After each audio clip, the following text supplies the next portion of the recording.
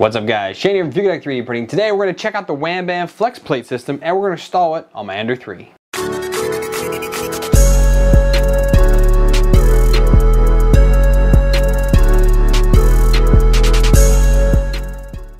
Welcome back guys. So as I said, this is the Wham Bam Flex Build Plate System and or Flex Build System they call it. And it consists of three parts. They have a magnetic sheet, a spring steel flex sheet, and then what they have is their PEX, which is a type of polycarbonate build sheet. It's kind of like a PEI, think of it that way, but it's it's polycarbonate, and they call it PEX. So it's supposed to be better, that's what they say, that's why it's called PEX. Better than what you can get with a regular polycarbonate sheet or other systems, so we will see how true that is. I've been playing with this actually since I was started the opening here, and I'm amazed at the how strong the magnet is on this actual uh, spring steel sheet here, it's actually really holds on quite well. And it's a pretty satisfying slap to it once it goes together.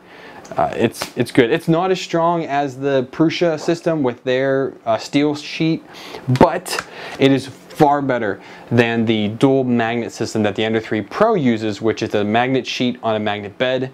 And there's different lanes of north and south poles so that they actually will lock together, but that's why you like kind of like jump when you put it on there. It's horrible. I really don't like it. But I also really don't like that the Ender comes with this polycarbonate sheet. Um, it's not bad, but it's not great. Uh, and I also, I'm not really a fan of this actual, their texture sheet. If you print PLA only, this is for you, 100%. PLA sticks to this like nothing else. It is fantastic for that if you have good first layers. I want to print more than just PLA on this machine though. I want to do flexibles. I might want to do some high temperature stuff. And that is why I'm interested in trying out this Wham Bam Flex Plate system. So this sent to me by Peter, who is the owner of Wham Bam Systems. So I appreciate him sending out to me so I could try it out. And we're gonna go ahead through their build guide and install it. And their build guide is very simple. It comes with it just here. They also do have it on their website as well. It tells you what all comes in this kit and then there's one page of instructions. Basically, we're gonna have to clean off the bed, the bare aluminum sheet. We're gonna make sure that's nice and straight, or flat I should say. We'll get out a steel ruler and I'll verify that is that. They do give you some aluminum shims if you do need to fix that anywhere. Then we're gonna stick down the magnet nice and easily, make sure we don't have any air bubbles in that, get that down. Then we will apply this to it just to kind of hold it. And on top of this build plate, we are to then apply their PEX sheet again, nice and easy and slow to ensure we don't get any air bubbles in that. It's easier to do, I've done this on small sheets before, on small build plates. It's not that bad. On like a 300, like for the FT5 or any of the CR10 variants, it's really hard to apply a PEI type sheet or any type of build sheet on an area that big, especially when it's thin and have not have air bubbles in it. So that is a common problem, but I should be able to do it with this one, uh, hopefully without too much of a problem. So that's those pieces, the aluminum shims, and they give you some steel wool, which I was very confused as this popped out. This is the last thing loaded in the box, first thing to come out. And this is what you're supposed to scratch up the PEX surface with, and then use some IPA on it, and then it is good to print on. And if you ever start to losing adhesion on it, you're supposed to go ahead and scratch up a little bit more with this or 400 grit sandpaper, wipe it down again, and you should be good to go. So that is definitely different than PEI. I've seen some people actually scratch up PEI. I've seen a lot of people not do that. I personally do not scratch up PEI. I, if I need any extra adhesion for like flexibles or you don't want the flexible to adhere to that, put down a layer of glue stick and then it works just fine. So I think that's enough gabbing. I'm gonna go ahead and start looking at the bed, make sure it's flat, and let's get this installed. And I want to print with this super quick because I wanna try it out. Onward.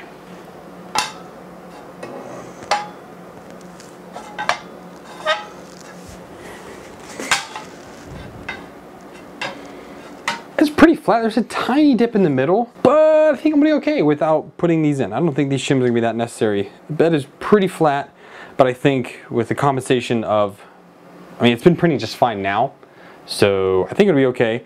They did also recommend in the build guide if you want to go ahead and put a lock nut underneath the screws to kind of hold in place because you can't have access to the top here. Again, I don't really want to mess with the springs at all. I think it's gonna be fine just like that. If not, I can always add those on later if it doesn't work out. But I want to go ahead and get the actual build mat installed. So first we're going to use a little bit of we're gonna get a blue shop cloth here. And I'm gonna get out my uh, Windex type cleaner and I'm gonna go ahead and clean this off just to be sure there's nothing on there and that it's nice and clean. I don't want any dust particles or anything on there. It's usually pretty clean anyways because I keep my build plate on it. But either way, we just want to have the best adhesion we can with that magnetic sheet. I don't want any issues with that coming off later because then that's no bueno. All right, so before we actually start, we just want to make sure this actually fits our bed just in case they sent the wrong one. So if we throw this down on here, we see that it is a perfect match for the Ender 3. That's what the build size is. I'm going to weight that bed down one more time now just because I put that on there. Now the way to apply this is to peel back about an inch, two inches off the top here, and we're going to keep the Wham Bam logo facing forward. I'm going to peel off some of this and line it up in the back and then go forward with it. So this will take a little bit of finesse here.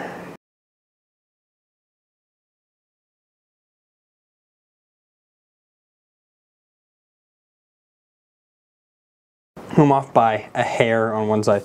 But that's okay, it's not that big of a deal. But that is on there nice and super flat.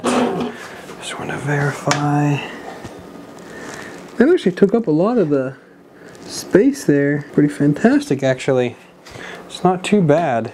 Let's see what this feels like attaching to it. Slaps right down on there. That holds on pretty good.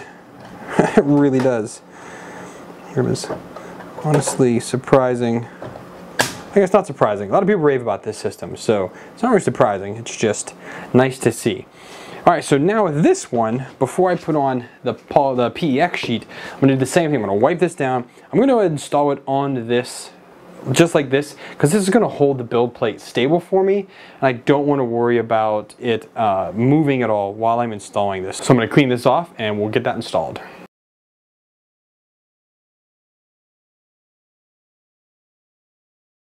And for this, I just did that with Windex and that's taken care of, but I'm gonna go ahead and use a little bit of alcohol just to make sure there's no extra anything left over from the Windex on it, because sometimes Windex can leave a little bit of a residue. So we'll use the little bit of kind of a large splash of rubbing alcohol and that will get rid of anything on this build plate. We'll be good to go. Super clean. All right now again with their logo up to the front we're gonna go ahead and install this. Yeah this 3m uh, that they're using is uh, yeah once you start there's there's honestly no real going back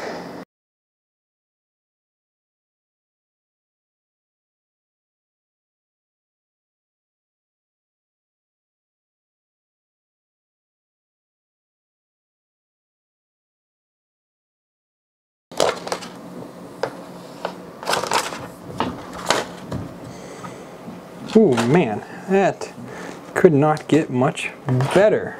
That is not too bad at all. So I'm going to get something, uh, I think I have uh, something around here, a credit card or something that I can use to help flatten that out a little bit.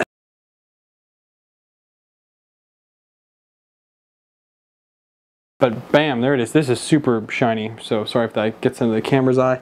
There was one little speck that ended up getting in there, but that's okay everything else is pretty spot on. That's basically it. That took all of, like honestly, like maybe five minutes of work. But that was super duper easy to do. So now, know, before we do our first print, obviously we need to re-level the bed. That's obviously rule number one, need to re-level the bed, make sure everything looks okay. I did jack this wheel up a little bit. We're going to steel wool this down and then I will use some alcohol again and I will clean this bed off again.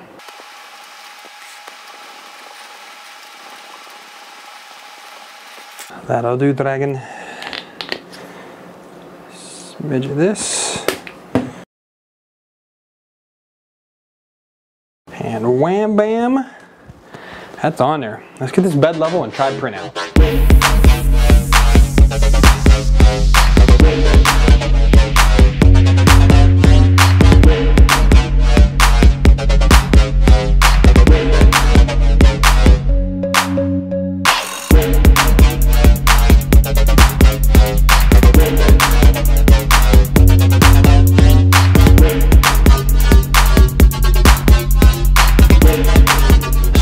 I two prints on I canceled the second one because this is gonna take a couple hours and I wanna get this done in one night. I don't feel like waiting the whole night. And this is not a review of the actual system. It's gonna take like a couple hundred hours of prints for me to actually make that determination.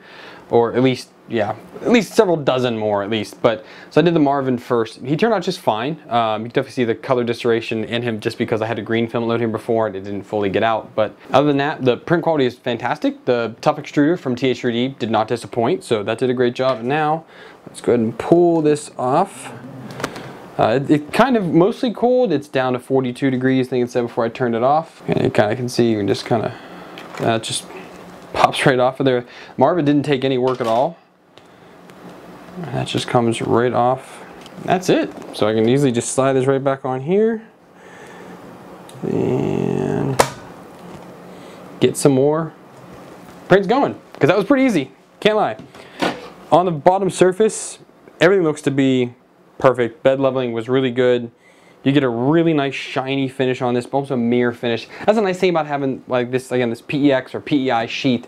It really does give you that beautiful, just perfectly glass smooth layer. You get the same thing with glass, but PEI will grip a little bit more to other materials than just glass will. So you do get some advantage with that. I still prefer to print on glass, but having this really does make it a lot easier. And again, you can print a lot more materials and not have to worry about it grabbing onto those build mats, which is a huge problem. A lot of people have they end up ripping it. Uh, that can even be a problem on Ultra Base sometimes, where you don't really have the problem here. Put a layer of glue stick down or Magigoo or hairspray, I don't recommend hairspray, but anything as an interface layer between the PEI and the flexible material or a PETG material, and it'll hold like nothing else. And we take it off, it's very easy, especially with a flexible build plate like this. I think that was pretty good easy. Took all of what five, maybe 10 minutes to install. Made sure it was bed was level, and I was off printing. Can't really argue with an easy upgrade like that. Again, this polycarbonate sheet on the Ender 3 is not horrible, but it's not great.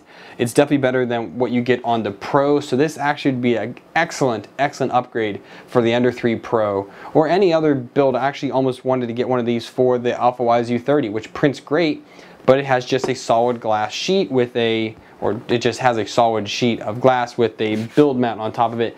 It's not particularly grippy, but when you're too close, you really screw it up. And I think that this system would actually be a huge benefit to that uh, printer. So that's it guys. Again, very simple and easy to do. If you guys wanna check this out, I'll put a link to the Wham Bam system website down below. It's not affiliate link or anything like that. Uh, they just sent this to me to try out on my printer. And I really wanted to, again, on these Ender printers because I don't like this. So I thank them for sending that over here. And again, if you wanna check it out, go down below.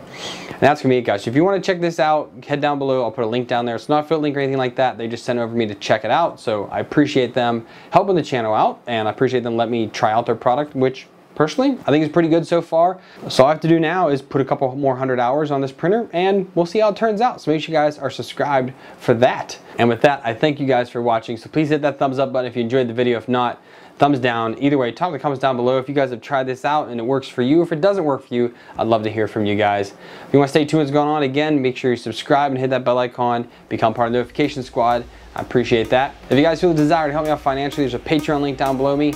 So click on that or you can do some one-time donations down the, in the video description or again there'll be some affiliate links with some coupon codes down there you can check out, save yourself some money, little slice what you buy with those links, comes back here to help out the channel. So thank you guys for watching, until next time, happy printing.